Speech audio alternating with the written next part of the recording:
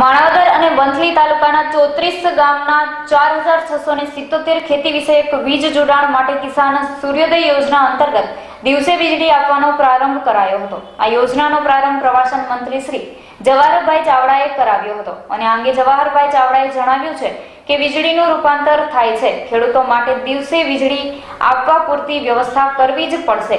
જેથી સરકાર આ વ્યવસ્થા કરવા કટિબદ્ધ થઈ ગઈ છે. અહેવાલ જિગ્નેશ પટેલ, માણાવદર.